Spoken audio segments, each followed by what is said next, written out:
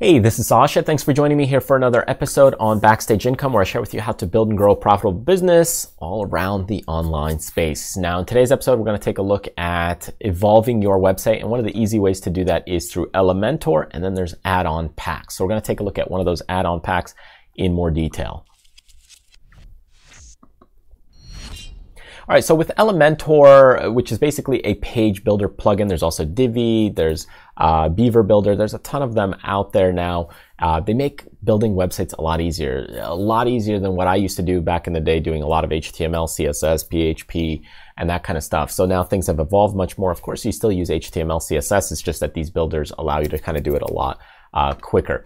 So when you look at Elementor, it's got a lot of great features. Uh, so if you really look at the editor here and show you the, these features, uh, it's really drag and drop live editing. It's really quick, but it misses some of these blocks. So everything kind of works with blocks. You throw a bunch of blocks in there and then you kind of build your page. But that's what these add-on elements, uh, additional third-party things do is it allows you to throw those blocks right in there. And then when you throw those blocks in there, it gives you more variety, more variation rather than custom coding it yourself. So it saves you a ton of time. Now here's one of our websites. This is podcast uh, color com. So if we go ahead and we check out podcast color, I'm going to go ahead and play with this with you for uh, just a little bit. So if you need a podcast editing solution, my team will help you out with that or even um, cover art for your podcast. Definitely check out that website. But with that being said, let's just take a look at um, this right here. Uh, one of the plugins. And the plugins that I'm going to take a look at for you is going to be the Element Pack Pro plugin. So Element uh, Pack.pro. And the reason I like this plugin um, so much is look at all the features and functions you can get out of it. Just take a look at that list. That list is huge. And one of the cool things about it is um, it's well styled and designed. So for example, here, testimonial grid, look at the styling. It's actually clean cut and well designed. So here's the testimonial. It's, it's done with design in mind. And I found that with some of the other um, plugins, like for example, let me take a look here. If I go here, believe, let me see, ultimate add-ons. I believe I have, let me see which one I have. I have this one, ultimate add-ons, um, and they have Elementor widgets as well. And they also have uh, testimonials uh, also. And one of the things I don't like about this, let's say business reviews right here, here it is. The problem with this is it's directly fetching, right? Business reviews. It's fetching directly from Google and Yelp. And that's great. I think it's a good function to have. But I want to also additionally have these manually added because sometimes people just write in testimonials by email. And I have this plugin. I paid for this plugin as well. Uh, but this is one of the things that plugin lacks. Whereas uh, this other one, and that I'm going to show you right now, uh, you can do much more. There's much more customization uh, behind it, and uh, there's just much more power to it. So, anyways, uh, let's take a look at this plugin here. Let's go back into it. So, and scroll back up. And if you look at all these elements, you got things from, well, let's just start a couple at the top here. Uh, here's a carousel. I'm not going to go through all these. You could go through all, all these yourself, but here, you take a look. Just makes the widgets a lot easier. So you could do these yourself and customize them however you like. And, um, and then you can go ahead. Here's a thumb gallery. You can go ahead then uh, tweak them to your liking without any additional uh, code. Here's another one right here. Here's a timeline, which I think is uh, also very unique and kind of interesting if you like kind of like a timeline look. Uh, you want it uh, horizontal, you want it vertical. So it's kind of a good way to present timeline information. You can see you can have it slide in. Um, let's go to, uh, let's see, here's another pricing tables. I think also are pretty good, very convenient, always nice to have some pricing tables. And again, very nicely designed. Sometimes I'll custom code these anyways with just uh, basic Elementor blocks. Uh, but you can see there's a lot of variations for those of you that just want to keep it simple.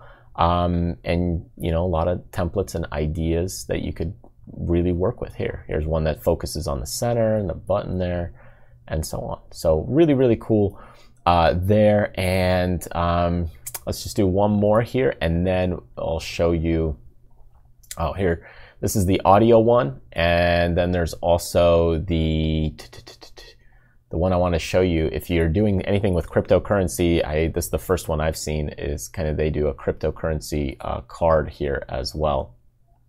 So let me pop that out for you. There, you could check that out. You can see cryptocurrency cards. And they also have, you know, third-party plugins and widgets that connect to other items as well, like uh, BuddyPress and Ninja Forms and you name it, many other stuff. So let's check it out. Let's go in the back end here. I'm going to show you. So here's my podcast color website. Let's go into Edit with Elementor. And when I take a look at this, I'm going to go ahead and show you this um, this area. So here's all the widgets, right? Uh, here is one of the other Pro uh, plugins that I have. There's the general plugins, and here's the element pack. So this is what I was saying about the other uh, plugin that I purchased, right? It's it's good, uh, but it's it's missing a couple functions. Uh, this one here here we'll show you. Here's uh, let me just drag a few of these elements. Here's the audio player, and you can see uh, most of them they they go with something like here's a content style and advanced, right? So if I want to change the skin, I could change the skin and then the skin will uh, will change. If I want to go ahead and uh, change the style here as well, let's just say I want to go ahead and change kind of like the icon color. Not that these are going to be the best colors or anything like that. But you can see the icon colors changing. Let's just do a background color.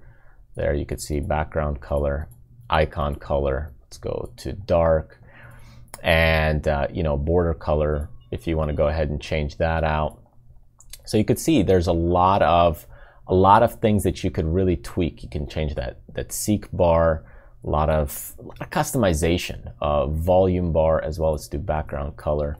So you could see there's the, the volume area right over here that's being changed.